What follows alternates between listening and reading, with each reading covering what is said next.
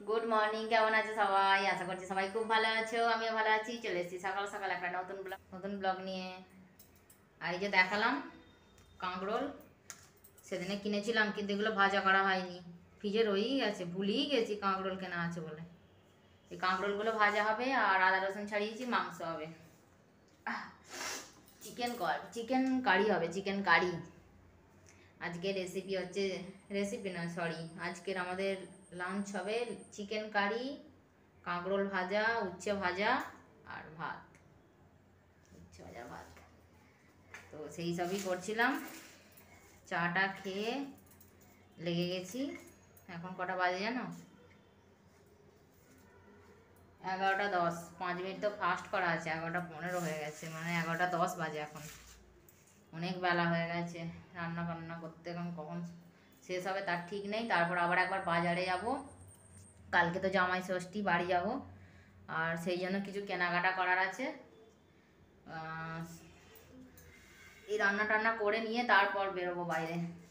তো চলো, ঝটঝট ঝটঝট করে রান্নাগুলো আগে সেরে নিই, নিয়ে তারপর বাইরে যাব।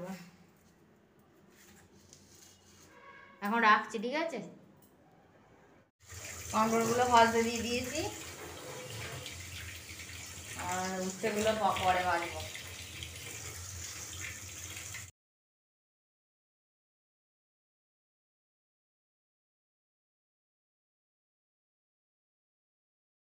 দেখো মুড়ি খাচ্ছি এখানে। তেলে ভাজা, এই যে আলুর চপ। আলুর চপ শশা আর জল ভিজিয়েছি, এই যে। জল ভিজিয়ে খেয়ে নেব। ওইদিকে রান্না হচ্ছে। একদিকে মাংস হচ্ছে একদিকে ভাত হচ্ছে। আর করলা আর এ ভাজা হয়ে গেছে। কর- করলা আর ঘি করলা। ওই কাঁকরোলটাকে অনেকে ঘি করলা বলে। অনেকে কেন? ওটাকে ওরা আর এক নাম ঘি করলা। হুম, হয়ে গেছে। ওইভাবে মাংসটা হচ্ছে। কত বেলা হয়েছে দেখেছ? বারোটা বেজে গেল।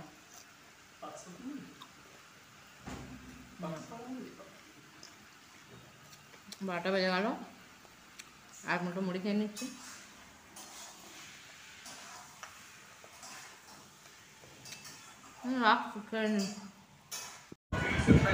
দেখো, একবার বাইরে বেরোচ্ছি। সে বলেছিলাম রান্না টান্না করে রেখে একবার বাইরে বেরোবো। কিছু কেনাকাটা করার আছে সেই জন্য। তো চলো, কিনে নিয়ে চলে আসি।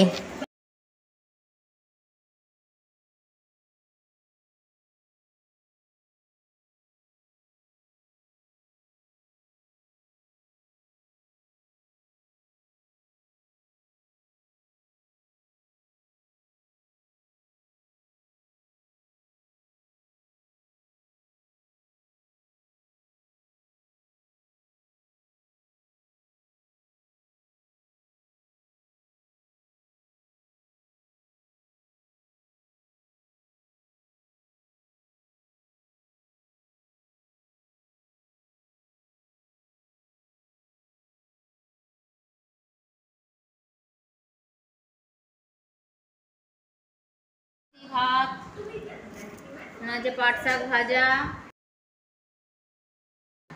এখানে আছে মাংস, কাঁকরোল ভাজা আর করলা ভাজা, আর এটা মাছের ডিম, এই তো চলো, খাওয়া দাওয়া করে নিই এখন, পরে কথা বলব আবার। গুড ইভিনিং এখন বাজে আটটা।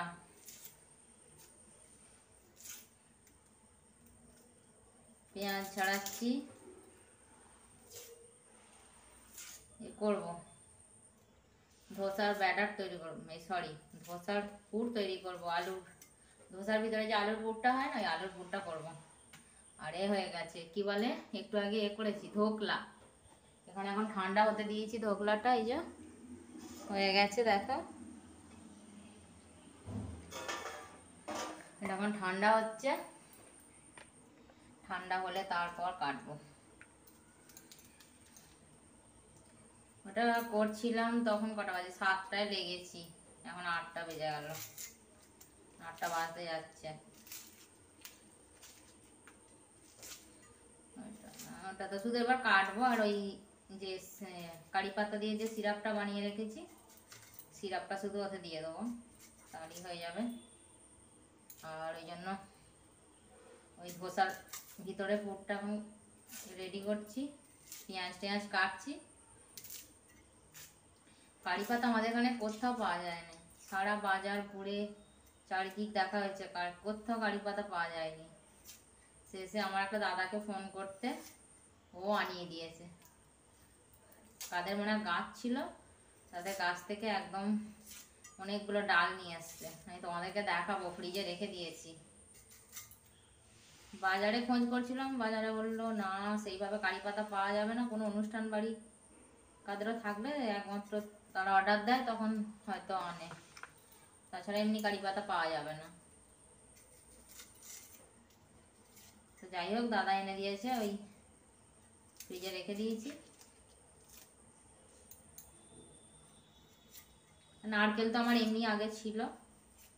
ওই যে কালকে ভেটকি মাঝে পাতুরি বানিয়েছিলাম। তখনই নারকেলটা কিনে নিয়ে আসছিলাম বাজার থেকে। ঘেমে যাচ্ছি, প্রচণ্ড একবারে দরদর করে ঘামছি এখন রাখছি, পরে কথা বলব আবার। ঢোকলা আমার হয়ে গেছে একদম রেডি চাপা দিয়ে রেখে এসেছি, তোমাদেরকে দেখাবো একটু পরে। হ্যাঁ একটু ফ্যানের তলায় একটু হাওয়া খেয়ে নিই আগে। ঘেমে নে, একশো হয়ে গেছি একবারে। ঠান্ডা হয়ে তারপর যেয়ে দেখাচ্ছি ঢোকলা। একটু চা খাচ্ছি এই যে। এটা হচ্ছে দোকানের কেনা চা।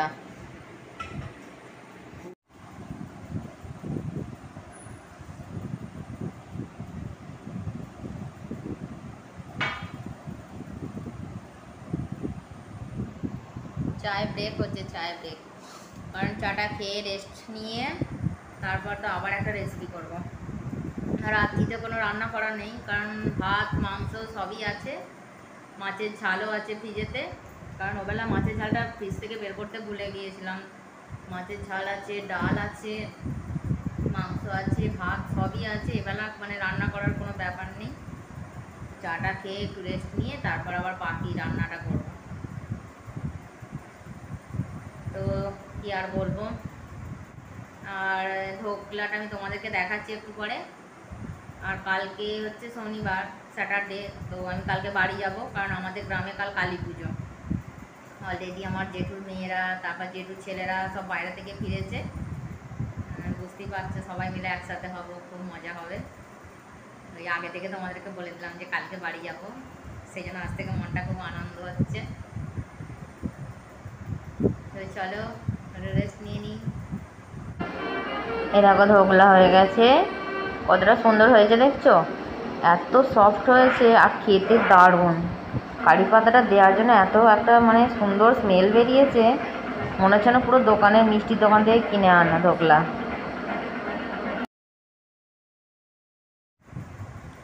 আজকের ভিডিওটা তাহলে এখানেই শেষ করে দিচ্ছি। দেখা হবে কাল একটা নতুন ভিডিও নিয়ে। ততক্ষণের জন্য ভালো থাকবে, সুস্থ থাকবে, সাবধানে থাকবে। আজ তাহলে আসছি। Tata good night